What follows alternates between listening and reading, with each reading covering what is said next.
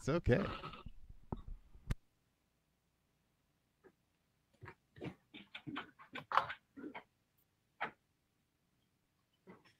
Oh, look at this. We're live, baby. Let's start sharing.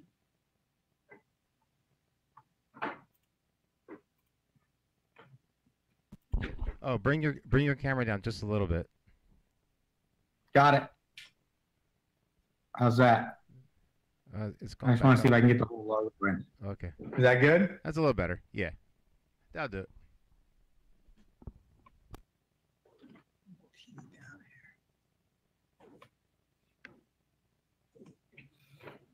Rocky Romanella is the founder and CEO of 360 Management Services LLC and author of the book Tighten the Lug Nuts. With over 40 years of boots on the ground leadership experience, Rocky creates excitement through his energy, passion, and knowledge in every podcast. During his 36 years at UPS, he led one of the largest rebranding initiatives in franchising history, the UPS Store, revolutionizing the $9 billion retail shipping and business services market. He also led the integration of more than 20 acquisitions that became UPS Supply Chain Solutions and led its improved financial performance, capabilities, and global footprint. Post UPS, he served as CEO and director for UniTek Global Services, a telecommunications company, and serves as an independent board member and advisor. Thank you for listening, and we hope you enjoy the discussion. Do this look like work to you? Nah. Looking at the lights like it's all for me. Everyone tonight is here. All for me.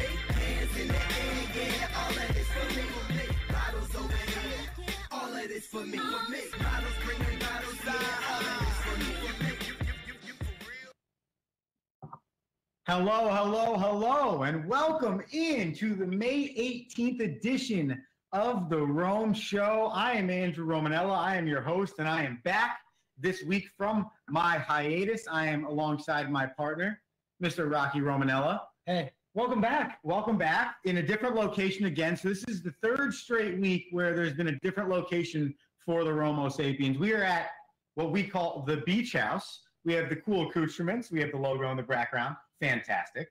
And we come to you from facebook.com slash andrew.romanella, as well as hamiltonradio.net channel 2. Remember, you can call into the show the entire evening, 609-807-2492, or you can get us on the social medias at Coach Romo24. We got some polls and some questions out there if you want to write into the show, or of course on the Facebook in the comments section. I'll tell you what, Rock, we got a jam-packed show, I would say, for the Romo Sapiens this evening. And it's so jam packed that we've decided to throw an extra digit in the phone number on the screen. So if you're paying attention on Facebook, there's an extra four. It's 807 2492. Rube, you got an extra four on the screen. We Just got heads so up. fired up. We so fired up. There's so much to talk about. I mean, there's so many. Like you've got your grade A sports back. Yes. And that's because different sports, not your four major professional sports, came back and proved you could handle playing without spectators. Listen, Bundesliga is back. NASCAR in, Back. golf in. It's all on the docket for you tonight, but we don't start there. No, we start with straight off the Rome, straight off the Rome, okay? And tonight, this date in history that's coming off the Rome is in Major League Baseball. It is this. MLS, MLB. Just kidding. on May 18th, 2004, Randy Johnson became the oldest pitcher in Major League Baseball history to throw a perfect game. As a Mets fan, I love it because his Arizona Diamondbacks beat the Atlanta Braves and Chipper Jones in a two to one victory. That was the 17th perfect game thrown in Major League Baseball history. That was May 18, 2004. And Randy Johnson became the oldest player in history. I believe that was his like fourth perfect game or something crazy like that. Randy Johnson, Probably no hitter, not perfect game. maybe Yeah. Hall of Famer. But that is your straight off the Rome today, May 18, 2004. And I'll tell you what, Rock. And I was thinking about this before the show, but now that I said that out loud, this really makes me miss baseball. No, I know, but and, and by the way, Randy Johnson, greatest nickname ever, the Big Unit. The big unit, yeah, so good. Great, by the way, one of the classic mullets that Of will all time. just always look good. And not to mention the perfect game at the age 40 also took out a bird in the middle of the All Star game that one time. Yeah. Yeah. People, Peter called him on that actually. Well, yeah, I mean, he, he took out a bird. I mean, I get it. insane. But no, that's a that's a great side. I just love that he's 40 when he throws the perfect game. Yeah. You know, I think that's cool. I mean, he's think about imagine like a six foot seven dude. Imagine a six foot seven dude like hitting you with a hundred mile an hour fastball and you trying to hit it. Yeah. That's not He was Aroldis Chapman before Aroldis Chapman. He, like I say about Michael Jordan, and you know we'll talk about the last dance coming up later on in the show. exciting. like like I say about Michael Jordan, he changed pitching position in Major League Baseball. He threw harder than everyone else. It's like who who could be like and he came up through the Mariners. Yeah, he's a Mariner. He's even with. A-Rod. So he threw he Edgar changed the game. Yeah, he started in Seattle mm-hmm. and like it's like who who are the teams that we have right now that are like those Mariners teams? Like who who are we looking at right now? Like if we had Major League Baseball today, who would we we be looking at? Think about it. Think about it. Because you have you want to talk baseball, I'm talking baseball. Right? Because you had you had you had the big unit, yeah. you had Alex Rodriguez, but then you think about like the Vlad Guerrero Expo teams. It's the Astros. You think about like the Pedro Yankees, Martinez. The Astros, it's the Yankees, it's the Dodgers. But I feel like I don't know. I, I don't know if the players like Yeah, until this Astros scandal, you had three of the best pitchers in Major League Baseball, or three of the top 10 pitchers in Major League Baseball. You had three of the top 10 position players in Major League Baseball. I when you feel look like at the Yankees, you have net, if Gerrit, if you include Gerrit Cole on the roster now, what people believe, or, or you know, Severino might be hurt, who the hell knows, but believe he's a top 10 pitcher in Major League Baseball when healthy. Now you have two of them on your rotation. Plus you have Aaron Judge, okay. you have Gary Sanchez, and you have Gleyber Torres. Three people who believe are studs, along with Giancarlo Stanton. I guess I guess The my Dodgers, Clayton Kershaw. Yeah. Shall I continue? Justin Turner. Shall I continue? Justin Cody Turner started with the Mets though. Cody Bellinger. Yeah, but Justin Turner started with the Mets. But That's my point. My point is is who's our who's our non-market team the Rays. generating the best talent The right Rays. now? Always the Rays. Always. The Tampa Bay Devil Rays. No, the Rays. The Tampa Bay Devil Rays. Always. It's They always generate the Player most- Stadium and the Tampa Bay Devil Rays. They so they're they're the they're the non like Yes. like They're not not- the organization. They're the non-premier small market. team. They're a small market organization producing the best players. Kansas City Royals when they won the World Series. Kansas back-to-back City. World That's a great example. when I s- thought about baseball, I thought about a text message you sent me the other day. Oh, Bryce Harper. Yes. Nice.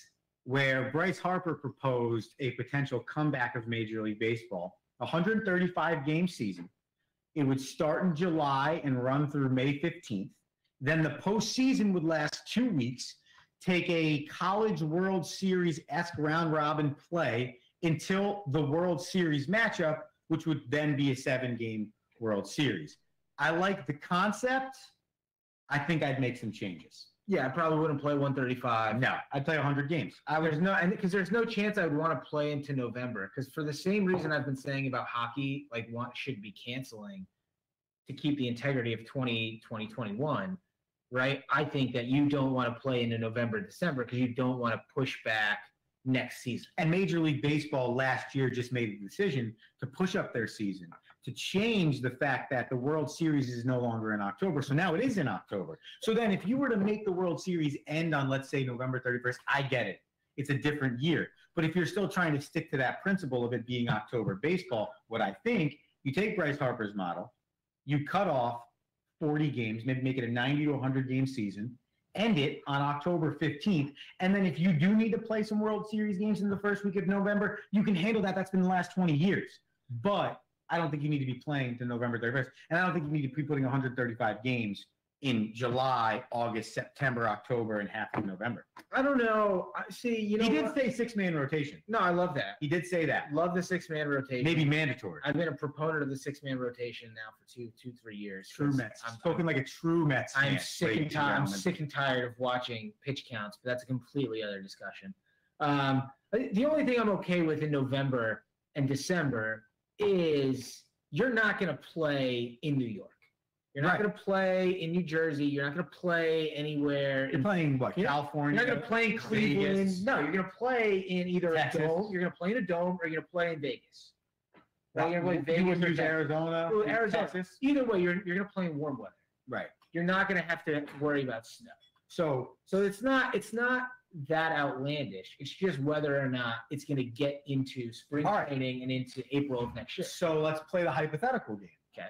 Okay. You be the Major League Baseball commissioner. You take a realistic stance on Bryce Harper's proposal, and you give back your proposal. Start. oh, here's what I want. Here, simple guidelines: start date, amount of games, how you construct the playoffs, where you'd play. Four four categories. So I'm gonna take I like the And July before he says that, 609-807-2492. If you have a proposal for Major League Baseball, or write it into the Facebook. Go ahead. don't touch me, I have to sanitize my elbow. Oh, you give me the hand sanitizer. Where's our producer? We need hand sanitizer. Anyways, so I'm gonna I'm just looking at so I'm gonna take the July 31st start date. I like that. Okay. I'm gonna pull back to 100 games. I like the World Series format for the playoffs. So you expand the playoffs to get more teams in. You play. So it's a round robin tournament. I love that. elimination. Love that. And I would figure out a way if I was playing. I'm okay playing in November only if the World Series plays in the 10 back days in the 10 days leading up to or backing into Thanksgiving. So you want the World Series played near Thanksgiving? If yeah, I'm I'm actually I, I was thinking about it as you were talking about it, and then as I kind of talked through Why? um, because I think that it's really important that you capture as many, you capture as much viewership as possible. Like, cool. Governor Cuomo today is like, yeah, we want sports to come back. Okay, that's great, but like, how much TV revenue is are the TVs generating? Right. So if I'm MLB, I need to figure out a way to literally capture my audience when the playoffs happen. Right. And I've got people who are backing into like a, a guaranteed four to five day weekend, like where I could be playing my World Series every day. Like it's not a bad. But here's the argument: you're going up against football, which Thanksgiving is a gigantic football week and weekend. You are going up against football, but you're. But Do you want to take that risk? Do you not play on Thanksgiving Day? the base the baseball the baseball playoffs and the World Series go up against football every year. They do, but they go up against a different part of football season. You're going up against September, which everyone hates in the National Football League. No. And then now, and this was baseball's whole point, pull the World Series closer to October. You'll take ratings over week five and week six of football, maybe. Listen, when you When you get the back half of the season yeah, well, when you play 162, you shouldn't touch November. I agree with that, but it's it's a it's a freak year. But I, but what I'm saying is, so you want to play 100 games over the course of that same amount of season, which means that there's going to be off days scattered across America. Take an off day here. Take an off day there. Why? If you're going to do 100 Because you games, have to you have to have off days because you're only going to be playing in 10 stadiums. You're not playing in every stadium. it's true, and you're going to have to You're, go through you have to limit travel. You're playing in in 10 stadiums. You're not playing in a lot. So unless you play two Yeah, games right. in one stadium every day, you need the time. and you're and you're probably going to have to lim- you're going to have to limit the amount of people that are there. That and are by the way, staff. you don't think that the Players Association is going to say, "Hey, I'm taking a pay cut because we are not generating the revenue. I still want my off days." True, that's a good point. You're 100 percent you're 100 percent right. And here's my other thought process: if you have training staff, right, and you have general managers and you have you know higher ups that need to be in their organization, at what point do you limit that amount of people? Is it because they can sit up there and not everyone's in the dugout that you can space it out, or you gonna? Is it gonna be a point where maybe the bullpen is actually in the stands? Because I saw that in the Bundesliga. The guys that were on the bench were sitting in the empty stands two or three seats separated in between both of them. I, I don't. I think it's going to be where if you're with the team, you're with the team. That's all you got. Because you're going to get tested, correct? right? And and that's I mean that's the complaint of the lot of the players is that hey, if we come back, right? I don't get to go home ever, Right. Yeah, you're right. You're right? So I think they're they're going to hold the same rules true to any of the supporting staff. But that's why I believe that you should have. I believe you should have a. That's why I believe you should have less games. To your point, Less games. and games. have more time to spread those games out to make sure that it's organized. So then you're good. So we're going into November. I just don't want to go to Thanksgiving. I'll I go. I'll go to Thanksgiving. I'll go to November fifteenth. Could you imagine baseball on Thanksgiving? Well, why not start July 15th, go to November 15th? Well, there's only one game. It's the World Series. No one watches the eight o'clock Thanksgiving game anyway. Dude, That's the um, worst game. They should never. It should be one o'clock and four o'clock. Let's get it done. Let's go watch some baseball. in a time when you're thinking about capitalizing the people at home scenario, you're you're not going to take away from one of the biggest football days of the year. Yeah, biggest football days of the year, but like you know, there's. But it's like that's but that viewers Think about hey, maybe that's your travel day, and the World Series travel day. but that's what I'm saying. I think if you were to take that model, you got to make Thanksgiving an off day. It has to be. fine, but as long as you're playing that week, you want to So capture the audience. I know, I know. I think they're I think they're captured on November 15th. Yeah, but now if you go into Thanksgiving week, you can take your uh, your league championship series and make them seven round and seven games. You play your round robin. Now you get a So national, saying- now you get an NLCS and an ALCS of seven games. Do you take the World Series format, College World Series format, out of the picture with your new format? No, I take the College World Series format, keep it in league so you can play an LCS, ALCS, and a World Series. So I want 10 in each league playing round robin, then So of the 30 some 31 teams, 20 make- teams. 20 teams make the playoffs. 20 teams make the playoffs. You go 10 and 10 round robin, two locations, Double elimination. double elimination, and then you get your four teams remaining. They play two seven game series and a third seven game series for the World Series. Those three series happen in November. Everything else is done by October. Why Let's rock and roll. why why are you adding teams in the postseason? Because you only played 100 games, and it's the only way. Let's say you're allowed to watch, like, it's the only way you can help generate the interest for each of the teams to collect on some sort of TV money that they're losing out by not having people in the stands. Okay, you're right. Okay, so now while we're on this topic, then I want to talk about the Bundesliga and I want to talk about NASCAR because if we're talking about Major League Baseball and the NFL playing seasons, we're talking about them going about the same guidelines that we've seen the KBO go over, the Bundesliga go over, NASCAR go over, even the golf, no spectators at golf, right? Is that going to be like, are you looking at the way soccer did it and you're saying that's pretty much going to be how every sport that has multiple players on the field, multiple people on the sidelines, a max size roster is going to have to handle it. Because I can't imagine 90 people, only players, football on the sidelines. They're going to have to probably limit that roster on the sidelines. Yeah, I'm, I'm telling you, you're probably going to have coaches wearing top hats like Gene Gene Hackman in the replacements without a headset because you know they're not going to have as many people to do all that stuff. Could you imagine? Could you imagine? You know, quarterbacks might have to call their own plays again. Could you imagine if there was no no headsets? You might No, have to- No, no, that you might be have to throw a play into That a tight be- end. He's going to have to run in and be like, "Coach says red 23." like, The wide receiver. like, you know, that- that'd be that'd be sweet. No, but see, the, the only You would really see how talented the, the, the football players. Yeah, but that would never happen. It'd be sick. It would be pretty sick though. I You'd be agree. playing on the gridiron. That's essentially watching Peyton Manning. Yeah. But Bundesliga, NASCAR, they didn't skip a beat. Well, you have to. It was different. The celebrations were different. Seeing no fans was different. So what you have to understand about NASCAR is that for the participants, absolutely nothing was different. Outside of probably preparations Celebration. and outside of preparations and maybe celebration from a pure sport execution standpoint, from the athletes From the 90 minutes they played soccer or 30 hours they drove a No, no, no, no. I'm saying, look, think about. It. I'm in a NASCAR race. Yeah, there's Like- no difference. There is literally no difference. You can't hear the crowd. You can No. probably can't even see the crowd. No. Maybe Now you're driving. right? You're driving. miles You've got a guy. You've got a guy in your headset telling you, "Look out!" You got a guy on your left. You got a guy on your right, and you're racing your ass off to the finish line. yeah, I agree with you. I mean, literally 100%. nothing's different. Like nothing is different from a NASCAR standpoint, outside of I feel bad for the people who couldn't tell me. Did you watch any of them? I did.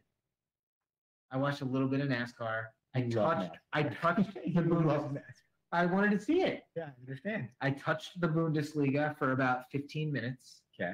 And I it sucked because I only ever turned Bundesliga on because it's so loud. Yeah, it is loud. Because it's just ridiculous. But it was funny. I was talking to the kid at work today who loves, who's a big soccer guy. He's like, Yeah, I I wish I could understand because you could hear them talking to Right. each other on the field. It's like when But it's all in German. right. Yeah. So like it'd be lo- love, you know, what are they saying to each other? yeah, you have no cool. idea. Well, you, can't you put the captions on the TV? Not in German. Well, You can't get them to have English. Like no one's gonna caption shit talking. yeah, but that would be hilarious. I mean, I might try it next time it's on. I think I'm gonna do that. I'm gonna turn. I'm gonna try and put the captions on. Well, I popped the golf on for a minute, popped the NASCAR on for a little bit. and I didn't watch the Bundesliga. The golf intrigued me. I'm intrigued by the golf. I like the golf idea. For those of you that didn't watch it, uh, Rory McIlroy went up against went with Dustin Johnson up against Matt Wolff, who I, I'd never heard of, and Rickie Fowler. They played for a three million dollar charity purse, which they split essentially like 65 45 or something along those lines. Uh, McIlroy and Johnson won on a closest to the pin um, competition, which I thought was a pretty cool way to settle it. Almost like a shootout in hockey is the way I looked at it. yeah, I like that. I thought that was a good idea. Something Nice. we need to think about in uh, regular season golf, no majors. In the FedEx Championships. the winners donated $1.85 million to the American Nurses Foundation, which is super awesome. That's nice. And the losers donated $1.15 million to the CDC Foundation. So that was, like I said before, a total of $3 million. I love it. It's the premise of now what's going to then happen, which is Tiger Woods and Peyton Manning are taking on um, Phil Phil Mickelson and Tom Brady. Yes. Memorial Day weekend. Exciting. I'm amped. He's taken Tiger and Peyton. I'm still undecided. Mickelson took the first when it was the first match in 2018, Tiger versus Phil. Straight Tiger, up. Tiger has won since won a major. Has since won a major, which I don't think matters at all in this scenario. He yes, because he's he's got his mojo back. I, yeah, I agree, but I think a lot of what has to do with this also is the way Tom Brady and Peyton Manning show. I think Peyton Peyton's gonna win. Are you intrigued? I'm, of course. Yeah. I love it Why? because I want to see Tom Brady and Peyton Manning play golf. I want to hear them shit talk each other. I know they've already started. They've done like I know. Did you see them? It's great. I yeah. watched them. They're, they're fantastic. Well, Peyton's Peyton's his personality is incredible. the bottom line is, people, sports are coming back, and we're super excited about it. Now, some people wrote into the show um, when I put it on Instagram, and one of the big ones is I miss baseball, and like I feel that 100%. But like at the end of the day, the unfortunate part of the situation is because of baseball's monster schedule, it's going to be the hardest one to bring back. I think football, truthfully, in my opinion, will kick off uh, on the normal slate in terms of being in September. I just don't think they're going to be fans in the stadium. Now, my question becomes what do you do with season ticket holders? You know, what do you do with salary caps? What are the ramifications of leagues right now? uh, You see, you know, I feel like NASCAR and and Bundesligas and golfs are in a different category than when we're talking about Major League Baseball, the NFL, National Hockey League, and the NBA. See, here's my thing. Like, I actually think it's easier for for baseball to come back Why? Because they haven't started yet. because you you're you're literally social distance the entire game. Yeah, in theory, I I, I agree. Six feet away from everyone. The closest people together are the umpire and the catcher. I think it just comes down to the amount of games on the schedule and where you play those games. Yeah, I, I and think. making it fair, like to your point. Well, the problem is he, he- here's the real problem. You throw baseball in ten stadiums in Southern California, Arizona, Texas, You are Florida, baseball. Texas and Florida, right? You could play all 162 games. No. You play, but the problem is, is you've got to put them on TV. Right. You want commentators. Right. You want all this stuff. But I'm just curious, like, why do you want all that stuff if it's not going to yield you the revenue that it would? Right. Whereas you could play a full season that way and only broadcast 50% of the games. But then what's the point of playing the season? That's the, that. The point is to give the fa- the they wouldn't play the sport just for the championship for no fans to watch. The idea of sports is for fans to watch. How much They're not going to play games that can't be seen, So you're telling me at least that in the the- local networks. I'm just saying, like, how many local people who already get their home broadcast are going to purchase the MLB extra innings package? But that's that goes the same whether there are fans in the stands or not. That's going to always be the same debate. But they're going to broadcast every single game. You're not going to play one professional sports game. at 12 o'clock on a Tuesday? Yeah, dude, everyone's home.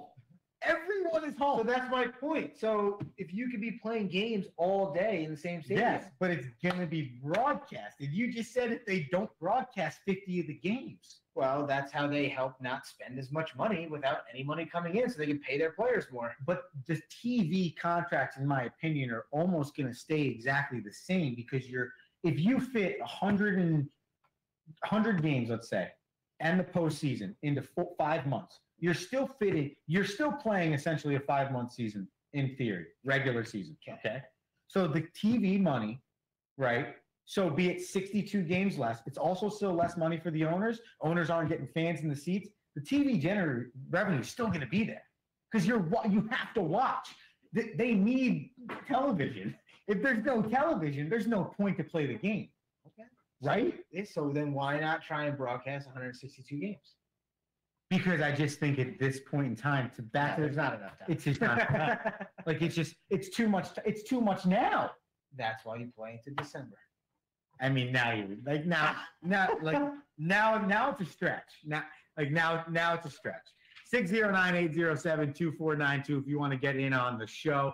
Um, I see some people writing in. Our pops wrote in, and I want to say this out loud because obviously 360 Management Services is the sponsor of the show, and we want you to head over to the number 360managementservices.com and pick up the Tighten the Lug Nuts book because we have an official purchase from the Hamilton Radio app of the Tighten the Lug Nuts book. So that deserves a round of applause. That's exciting. We love the Romo Sapiens tuning in, and we love the Romo Sapiens supporting the cause. Okay, we're a few minutes away from a break. All right, so on the backside of the break, we have a lot to talk about. Jim Harbaugh came out and proposed a letter about NFL draft changes for guys that don't get drafted. All right, The Last Dance, episodes nine and ten, aired last night. Fire. And I know that you are a huge fan of episode nine. I'm obsessed with the whole show, but I, thought episode nine was the best one last uh, out of the two last. And I feel like every time we watch The Last Dance, like some information comes out that I'm like, wow, like I learned so much. Okay. And then last, oh, and also there was a proposed documentary of what could be next in the next like basketball documentary series. I want to ask you your opinion, but I'm not going to tell you your options. Okay. I'm just going to give you the two dynasties and see which one you would rather a docu series on. Okay. Okay. And the last one is we got rocks reviews, which it started to become my new favorite segment because the last two weeks we've done. I don't know if you did it last week. I didn't listen to the last ten minutes of the show. Uh, I got cut out. It's okay. All right. So we didn't do rocks reviews last week. So the last two, which we'll be including this week, are shows that I haven't either watched or haven't been watching. And because of the rocks review two weeks ago, I popped on Entourage. I was like, it just sounded so good when he was talking. That's about right. That's what I'm talking about. So listen, here's the deal. We're gonna go and pay those bills. All right. And then on the backside, we're gonna talk about all that stuff. Remember, this is the Rome Show. It's HamiltonRadio.net, channel two, Facebook.com slash Andrew.Romanella. You can call into the show at any time, 609-807-2492, or write in on the Facebook. Rubain, we just plugged the 360 Management Services. We might as well play their commercial too. Rocky Romanella is the founder and CEO of 360 Management Services LLC and author of the book Tighten the Lug Nuts. With over 40 years of boots on the ground leadership experience, Are you looking Rocky to become a better leader? energy, passion, and knowledge in every podcast. well, During his we'll 36 years Yeah, I guess we'll- we'll- led we'll one of just keep rolling here. Rocky Uh, Romanella is the founder and CEO of 360 Management Services LLC and author of the book Tighten the Lug Nuts. With over 40 years of boots on the ground leadership experience, Rocky creates excitement through his energy, passion, and knowledge in every podcast. During his 36 years at UPS, he led one of the largest rebranding initiatives in franchising history, the UPS Store, revolutionizing the $9 billion retail shipping and business services market. He also led the integration of more than 20 acquisitions that became UPS Supply Chain Solutions and led its improved financial performance, capabilities, and global footprint. Post UPS, he served as CEO and director for UniTek Global Services, a telecommunications company, and serves as an independent board member and advisor. Thank you for listening, and we hope you enjoy the discussion. Welcome back into the Rome Show. May 18th, 2020. It's 732 here on the East Coast. We are on HamiltonRadio.net, channel 2. I am Andrew Romanella. That is Rocky Romanella. You, the Romo Sapien, can call in 609-807 2492. You can get in on the facebook.com slash andrew.romanella or slash the Rome Show One. All right, slash the Rome Show One, HamiltonRadio.net. Just got a text into the show, which I think is an awesome text as well. Nikki Jensen, which is one of the first guests we had on the Rome Show. Go back on the old Rome shows on Facebook or at wideworldofrome.com because Nikki had some awesome stuff to say about the mindset and, and working it. I'd actually, I remember listening to that interview. I'd love to hear what Nikki thinks about Last Dance and Michael Jordan's mindset. Yeah, that's true. So Nikki, if you're listening, you want you feel like calling in, talking a little Michael Jordan mindset, feel free. The 609-807-2492. It's fixed on the screen. So we're locked and loaded. So here's the deal. Okay. On May 7th, all right, so some 11 days ago, a one Jim Harbaugh, the head football coach of University of Michigan football, wrote as what they call an open letter to the college football community. The letter was centered around the National Football League draft, okay? And the idea that if a guy gets undrafted, okay, he can go back to college as opposed to having to sign a free agent contract, or if maybe in some cases they don't sign a free agent contract, they go undrafted and now they can't go back to school because they've lost their eligibility. There's a lot of stuff. It's a two page letter. I'm not going to read you the whole letter. Okay. If I handle my job after the show appropriately, I will retweet it at Wide World of Rome, and you can go check it out there um, as well. All right. A few things stood out to me. Okay. First off, the proposal essentially is this. Okay. And this, I want your opinion on this before we go deeper. Jim Harbaugh wants the National Football League and NCAA to operate like Major League Baseball and the National Hockey League. Which is which? Okay. Both in the National Hockey League and Major League Baseball, you can essentially get drafted at any point in time. In Major League Baseball, you can get drafted out of high school. If you go to junior college, you can get drafted out of your first year there or your second year there. If you go to the NCAA level, you can get drafted after you're 21 or, which is more likely, your junior and or senior year of college. So essentially, you can get drafted in a year. You also can choose to turn down that draft pick status and return to college. In the National Hockey League, you can get drafted. The team can hold your rights. You can go to college. You can freaking graduate college. You can still go to NF, NHL, excuse me, rookie camps during the summertime. They still have your rights. You're still a college athlete. Or you could essentially turn down all of it, just go to college and then try and enter the draft again. Okay. There are some different rules associated with the later port, part of the NHL draft. But Rob, essentially, that's what Jim Harbaugh is proposing. And in my opinion, that should be across the board in any sport. No, I love it. It doesn't make any sense. Like, I mean, if if you want to declare, I mean, the beauty about hockey and the beauty about baseball is that you reach a certain age and you can get drafted. If you don't get drafted, it doesn't change anything about who you are. 100%.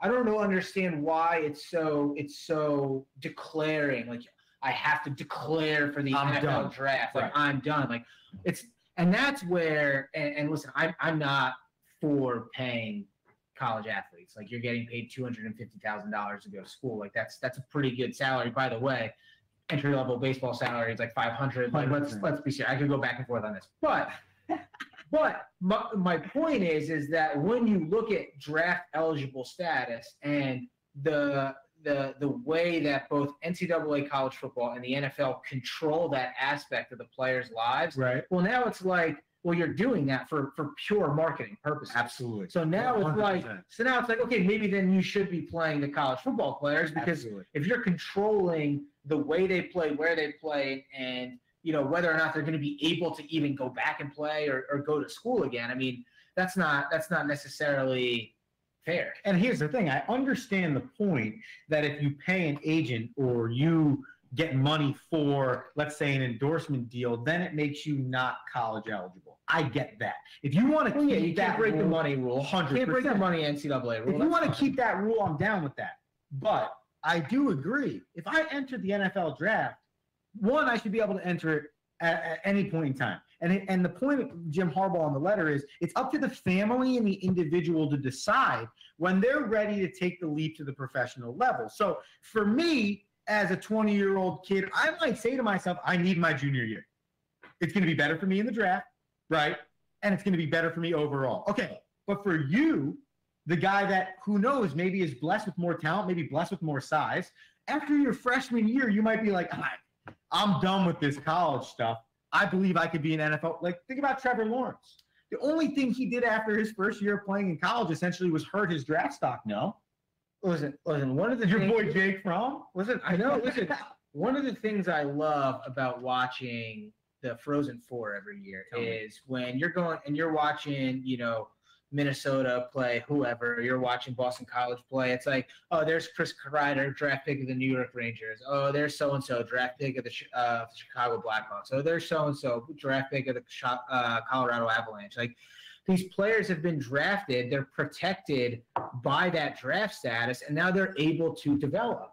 Right? Like, nah. I mean, think about it. There's no, uh, there's no entry level football league right? There's no secondary football league. There's no D. I mean, even basketball has a D league, right? The XFL, no secondary league in the NFL has ever lasted. You're either on the team or you're a practice player. There's no in between. Yeah. But imagine the guys that usually land in that mid range, like, hey, I got drafted as a sophomore. I get to finish my high, my college career, and then I get to go try and make a squad. Like, Well, and, and on top of that, so here's the second point that I really like from Harbaugh is that if you do get drafted, there's something in there that states the amount of years with which you played football in college dictates the amount of years of education you get paid for once your football career is done. Because his point is, there's a three to four year shelf life window for the average NFL football player. The guys like the Aaron Rodgers and the Peyton Mannings and the guys that play 10, 12, 15 years, Tom Brady's, that is a an, an exception to the rule when you think about the average shelf life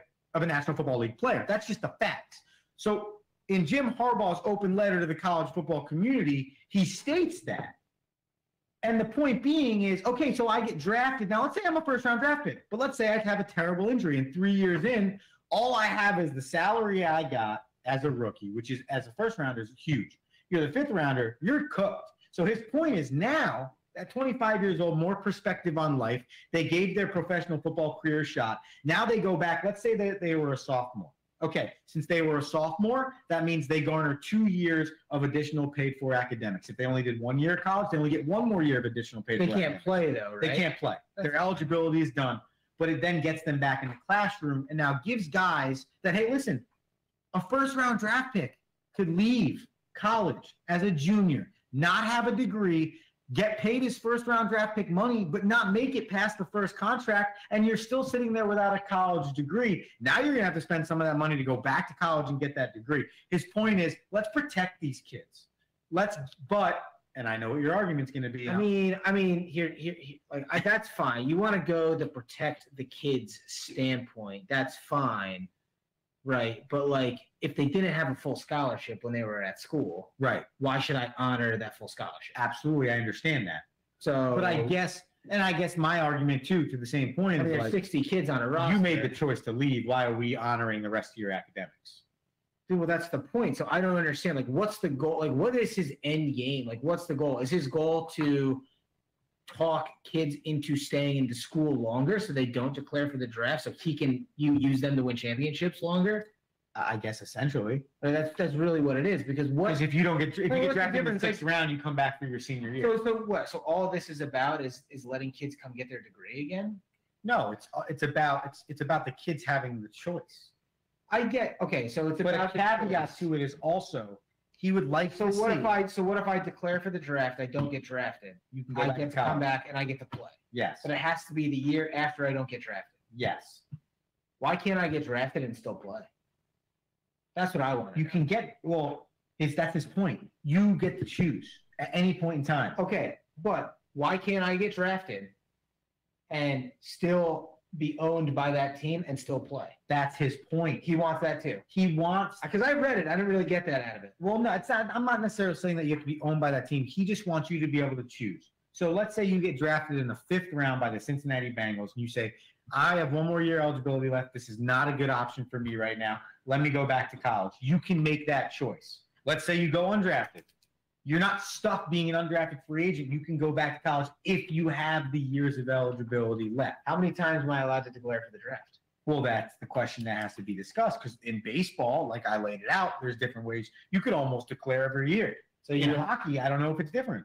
so you would you don't have to declare anything. You just your rights are owned for four years. Your rights. But can you turn that down and go to college? No, no, you can keep it and go to college. Yeah, but- I can get drafted by the New York Rangers.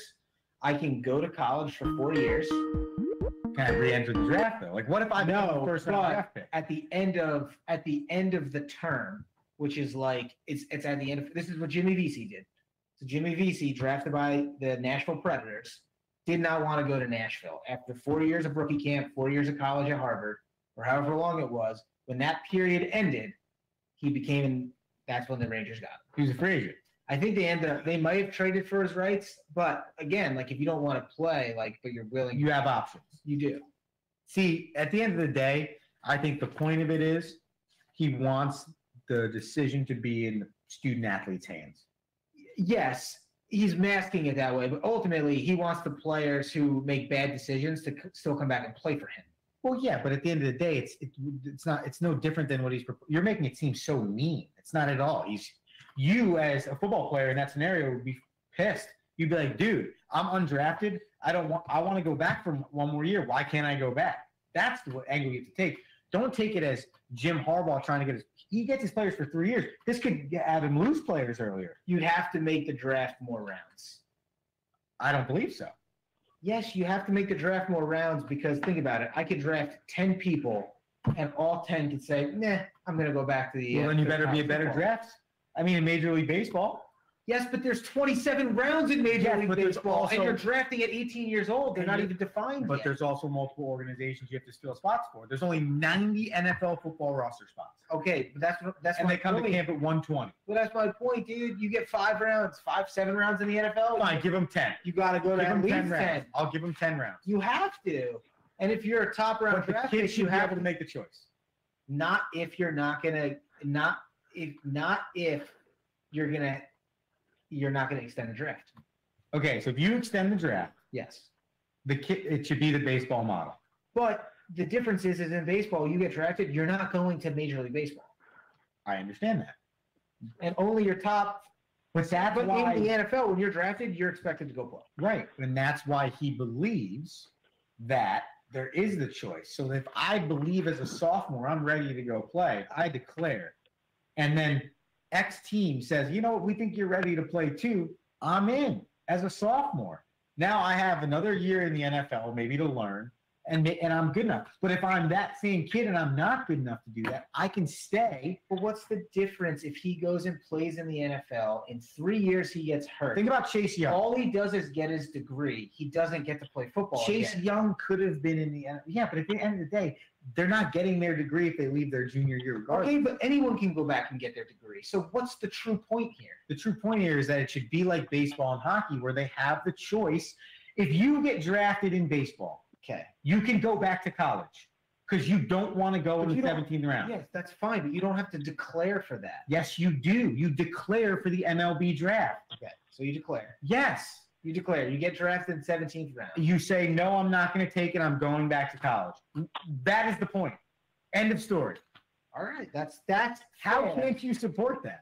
I I do support it. It's the point where you're like, okay, he gets to go to school, he gets to go to college, then he gets hurt. You're making this big point about he gets to get his degree if he goes to the NFL No. after sophomore year. That, Who No, cares? No, that was a minute point. What I said was he also put in here. that was just your example. No, I did not say that. I said he goes to the NFL because he believes he can play as a sophomore. He's done with college football. Cool. I'm Chase Young. I'm a sophomore. I don't need my junior year, so I can declare because Jim Harbaugh, to his letter, thinks that that should be allowed because the kid believes he's ready. So now, as a So sophomore, he doesn't have to wait three years. yes. Ah, okay, who cares?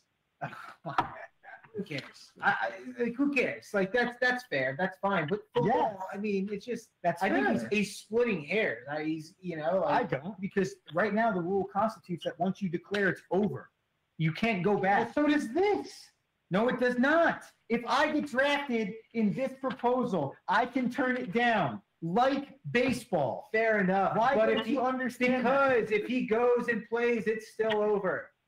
No, it's yes, okay, but that's in every sport to the NCAA. That's not what we're talking about. We're talking about the ability to turn down being drafted or going undrafted and being able to return back to college.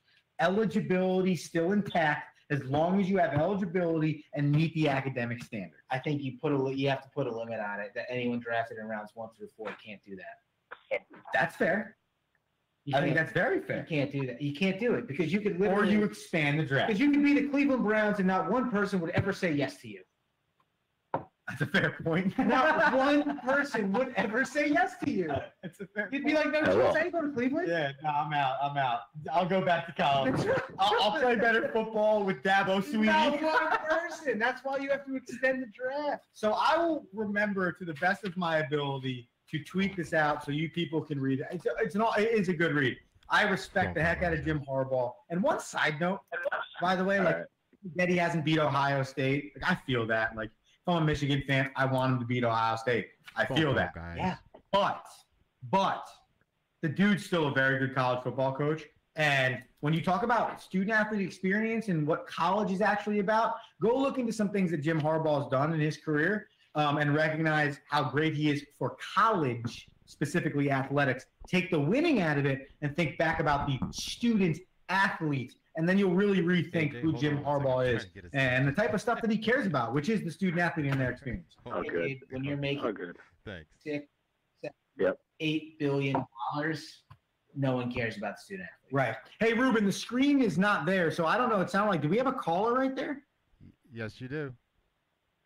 Okay, caller. Hello? Yeah, we don't have the screen up, Ruben. If you could reshare. Caller, give me your name what you're calling about on the Rome show tonight. What's up, Rome? It's AJ. AJ! calling about that What's going uh, on, post that you put out, either Reggie versus MJ for the last shot.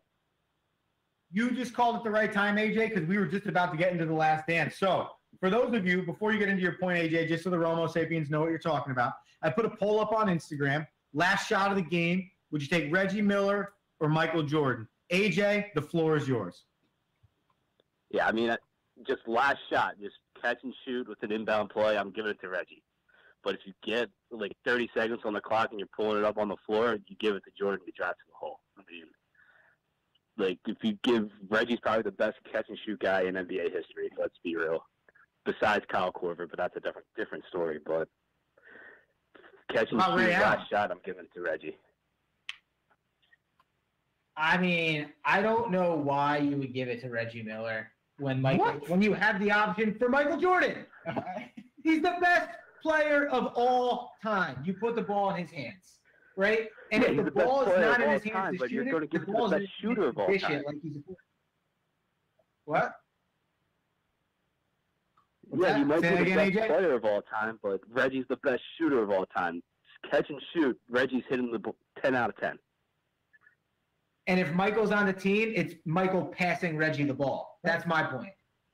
The ball's in Michael's Yeah. hands. Yeah, but the but the but the question was last shot. So to AJ's point, he I'm still give it taking Reggie. I'm taking Michael every time. I'm always gonna go to my best player. Well, I'll tell you what, AJ, you kind of made me a believer on on Reggie. Well, that's that's. I yeah, mean, I'm I, but I would make this Reggie. argument back, AJ. I don't believe Kyle Korver is the second best spot shooter, catch and shoot guy of all time. I believe that would go to Ray Allen. Steve Kerr. Okay, yeah, I'll give it to Ray Allen, but everyone always overlooks Kyle Korver as just a spot up shooter. I mean, I think that's because he hasn't won anything. Yeah, he hasn't won anything, but that's that's why everyone overlooks him. But if you look at him, he's a great just spot up shooter, just give him the ball and shooter. Saying not basketball player, but just straight up three point shooter. Kyle Korver all the time. I feel that. I feel that 100%. What else you got for us tonight, AJ? Um, nothing much. Just enjoy, enjoy listen to the show, and uh, hope to talk to you soon. Appreciate you, dude. Hey, call in anytime. Seriously. Thanks, AJ. Yep, no problem. See ya. Catch and shoot. I don't. I, I don't listen. Maybe maybe this is where my basketball gets hits its ceiling, because like All right, so then don't even get into it. there's nothing that annoys me more than than NBA fans that tell me the best player shouldn't be the the, the players with the ball. Like no, I, I don't but that's it. not that wasn't the point. that is the point. no. I asked the question if if the shot was getting thrown to somebody and they had to make it, would it be Michael or Reggie? And he, you can't be mad at him for his own opinion. Simply chose if getting a pass. You might choose Steve Kerr apparently. Yeah, but I'd make sure Michael gives it to him. Yeah, well, hundred percent. And he said, if you listen to what he said, what if you're saying give the ball to somebody and have them drive? It's Michael. If you're telling me catch a pass and shoot, it's Reggie. Yeah, that's listen. That's you know, it's, it's they, they understand the NBA skill set better than me. Episodes nine and ten of The Last Dance happened last night. It's over. I'm hands down saying it's one of my favorite documentaries of all time. Sports documentaries, no doubt. I love it. It You was- had some hard amazing. opinions. Give them to the people. I, I thought last night uh, was was magnificently done. I thought the Reggie Miller episode where they started in um, they started in Indiana, right, and they went they went two games up, and then they brought you you know their first loss, and then they showed Michael missing the last second shot, which he had 0.7 seconds. And he was mad. He was- no, wait, he had 0.7 seconds to catch, land, double clutch, and shoot the ball in, he almost in a, it. seven tenths of a second. Yeah, like they didn't hit the they didn't hit the button when he first touched the ball. Okay. Anyways, gotta love it. Gotta love the NBA for that. Um. anyways, anyways, all I'm saying is is they I didn't took, expect you to go there. but they took. That's what I was thinking. But they took the the interview post game. Oh, we got to come back to Chicago, and the reference to Utah. And like brought that history back into it the same way they've been doing the whole episode, and you're like, wow, you really did need the context of his full career to really understand like how the end of that how the end of his career with the Bulls like really came to fruition. And if you think about 90s basketball, essentially Michael Jordan and the Bulls just spent time crushing different dynasties' hopes. Like Yeah. The Pistons got the best of them to start off Jordan's career. Then Jordan crushed the Pistons. Yep. And he actually ended the Lakers in a way in the 90s, if you think about it as well, with those Magic teams, because he ended them as well. Yeah. Then Celtics kind of ended themselves Right. before the Pistons. 100%, the Pistons ended the Celtics. Yeah. And then, then you come over here and it's like, okay, we'll ruin the Pacers. We'll ruin the Knicks. Okay, we'll come over here. Let's ruin the Utah Jazz. And- and, you know, but in reality, in reality, he actually, you know, Michael gave the Pacers a chance. He gave the Pacers and the Knicks a chance because he was playing baseball, yeah, 94 and then 95, really. right? So he gives he gives the Knicks a chance. Well, and the Magic, because the Magic in 94 and 95, and they beat them in 95 and then in 96. They were back to back finals in the that. East, the East was up for grabs. It was. And then Michael came back in 96 and said, nah, sorry about it. But I'm Michael Jordan. I'm the greatest of all time. One thing I learned last night Steve Kerr is a baller. And Rocky said this before, and I couldn't agree with it anymore. I wanted to say this. I said this before the show. You know, a lot of people talk about Steph Curry, and I do believe Steph Curry Mhm. would be it is the best shooter of all time. Spot up, three point shooter, long range, best touch. I mean, off the charts. Okay, you can't even deny it. Well, Steph Curry's coach Steve Kerr, which you've learned a lot about in this documentary, ended his career as the best percentage three point shooter in NBA history. And oh, by the way, and I don't think a lot of people know this because it just said he was traded at the end of the documentary. He was traded to the San Antonio Spurs. The next year, in 1999, won his fourth straight NBA title with the San Antonio Spurs. Found his way back to San Antonio in 2003 and ended his career winning his fifth title with the San Antonio Spurs. And then, remember, one of the best shooters, right? In a time when the three point shooting um, ability was starting to improve, Steve Kerr at the forefront of that. Well, why do you think Steph Curry became Steph Curry? And a lot of people make the point, you know, those teams were so good they, they could coach themselves. Well, now that I've watched this documentary and learned a lot about Steve Kerr, I'm like, you know what? You got to give these coaches credit because it seems to me like Phil Jackson was the only one that could have gotten those Bulls teams to do that. And it seems to me like Phil Jackson's the only one that could have gotten those Lakers teams to do that. So it also seems to me like Steve Kerr might be the only coach that could actually get those Golden State Warriors team to do that. And hey, maybe, just maybe, and I'm going to give Steph Curry all the credit in the world because he came into the league as a great shooter. But maybe, just maybe, his mentor and his coach, Steve Kerr, might be the reason or a big part of the reason why Steph Curry has developed into the person he is because of the time that Steph has spent under Steve Kerr. Yeah, no, it's obvious that he knows how to teach that that team style of basketball that always allows you to have a three point shot open. Right. That's what. That's how. That's he, it. I mean, that's I mean, how he. that's That's what it is, that's right. why his. I mean, that's why he, he said he's like, hey, I was the John Paxson. I came in as John. Paxson. I love that, by the way. I came in as John Paxson. I went under his wing. I learned how to be John Paxson, and I was always open to take that shot. You know, that's really what it was. And then he taught. He had a team. He built a team of three point shooters to do the same thing. Oh, yeah, except you could do it from five different people now. But that Instead of just him and one other. But that's and that's and that's and that but that was his ability rather than only having one or two people that could do it and have to play like you know down deep. He, he was able to to keep it on the perimeter and only need one guy inside instead of three guys that had to go inside. Michael said that he believes that Chicago could have won a seven. I love that part. I love that part. That took that to me. That took the purity back into sports and took the business out of sports with that statement. He's like, if the Bulls offered all of us a one-year deal to go win seven, we all would have taken it. Agreed. And he even said like Scottie would have came back. He wouldn't have wanted to miss out Scottie would- because that's that is the athlete side of it. That's the side that always gets lost in sports today. Is the fact that the business has taken over the game. The business took over the fact that the that the, the Bulls couldn't stay together. They could have, right? They could have, right? Like, by the way, have the Bulls won anything since then? No. They haven't won anything. So, like, great. And and by the way, that. and every fan, every fan today, every commentator, every analyst, oh, you got to rebuild through the draft. You got to do this and you got to do that. No, if you're on top, stay on top. Yeah. Why do you got to break it down? I agree. Why do you have to break it down? And I know they showed the thing. You know, I Den- hate it. I Dennis hate it. Rodman's career. I saw it on ESPN today. Like was 35 games after that, and Pippen was never really fully Pippen after that. Like, well, you don't know if in that scenario again they would have done what they did. And if you think about it, the Spurs won the next title. Well, would the Spurs? Uh, would that Chicago? You can say that about every able to beat every 'em? single championship team. Yeah, of course. Every player on every championship team, you can say the same thing. It depends on which which championship teams you're looking at. So we had a write in, and actually from our caller AJ. But what dynasty would you want to be the next ten part documentary? Would it be the Spurs, you know, with Tim Duncan, Tony Parker, Manu Ginobili, that crew, or the Shaq and Kobe Lakers, or just the Kobe Lakers? In basketball, Mhm. um, I'm going with the Lakers.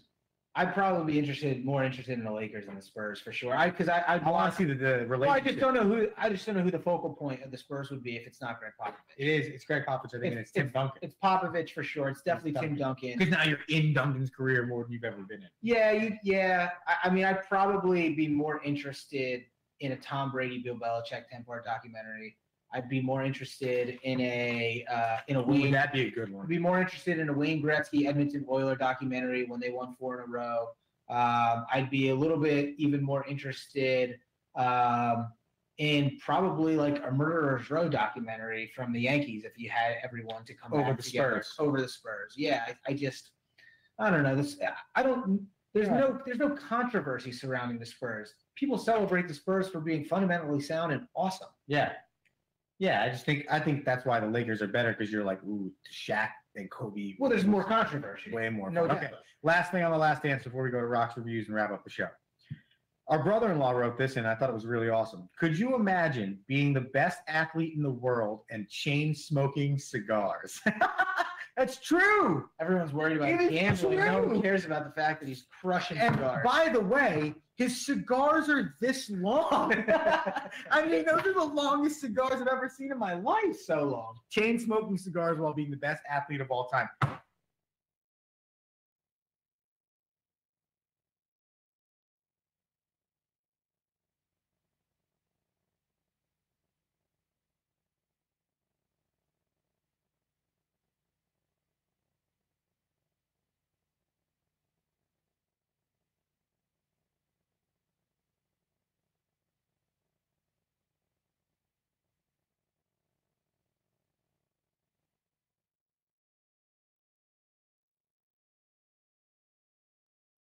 And brothers, he's the man. He plays the main character, and Bobby Little Axelrod. parallel from former Rockford. That's reviews. right. You've got Damian. Uh, I mean, you've got Paul Giamatti, who is just outstanding. He's his, he's another co-star. And then you got Maggie Siff, known um, actually a lot of times from uh, Sons of Anarchy.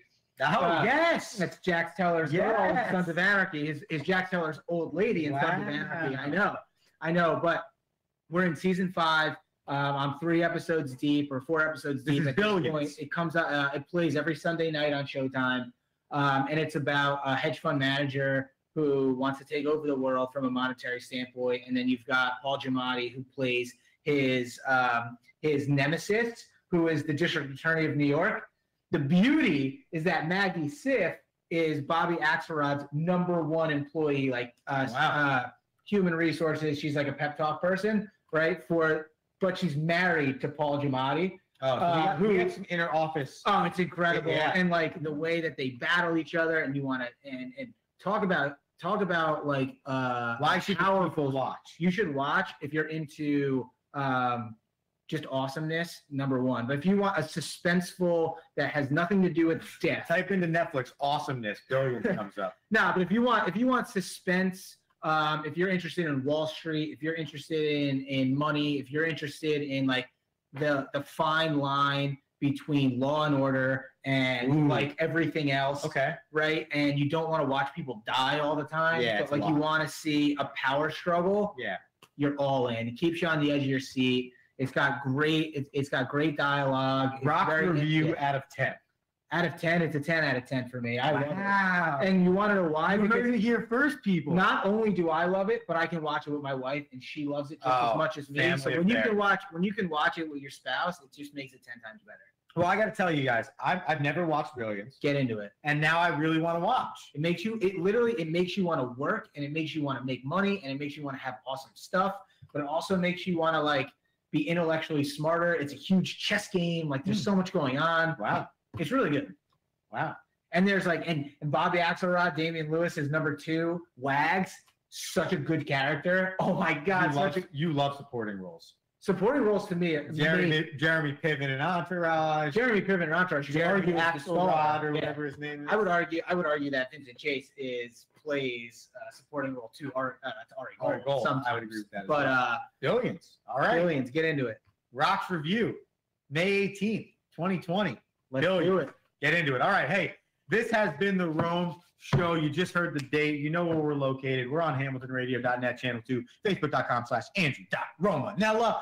We will be back next Monday, 7 p.m., same time, same location. We appreciate AJ, our caller, our producer, Ruben, Hamilton Radio for the support, the Romo Sapiens for tuning in everywhere that you tune in. Visit the social medias at Wide World of Rome, at Coach Romo 24. Visit the website, wideworldofrome.com. The apparel's up. I mean, the whole lot of it. You know the deal. Andrew Romanella, Rocky Romanella. Until next Monday, we are out of here. Rocky Romanella is the founder and CEO of 360 Management Services LLC and author of the book Tighten the Lug Nuts. With over 40 years of boots on the ground leadership experience, Rocky creates excitement through his energy, passion, and knowledge in every podcast. During his 36 years at UPS, he led one of the largest rebranding initiatives in franchising history, the UPS Store, revolutionizing the $9 billion retail shipping and business services market. He also led the integration of more than 20 acquisitions that became UPS Supply Chain Solutions and let us improve financial performance, capabilities, and global footprint. Post UPS, he served as CEO and director for UniTek Global Services, a telecommunications company, and serves as an independent board member and advisor. Thank you for listening, and we hope you enjoy the discussion. Do this look like work to you? Nah, looking at the like it's all for me. Everyone tonight is here, all for me.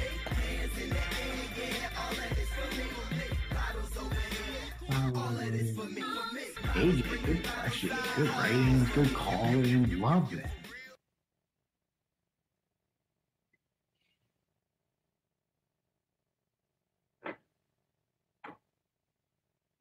I like the new bottom of the show too, dude.